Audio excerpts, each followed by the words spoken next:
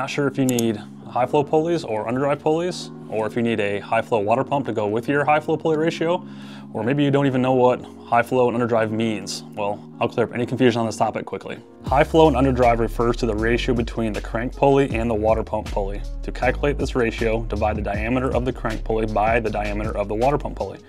For example, if you pair a 7-inch crank pulley with a 6-inch water pump pulley, the ratio is 1.16 to 1. This means for every 1,000 RPM the crank turns, the water pump will turn 1,116 RPM making it overdriven. Conversely, if the crank pulley is a 6-inch and the water pump pulley is a 7-inch, the ratio is 0.86 to 1. For every 1,000 RPM the crank turns, the water pump will only turn 860 RPM, making it underdriven. High flow ratios are needed for most applications. Think about daily driving and street strip applications.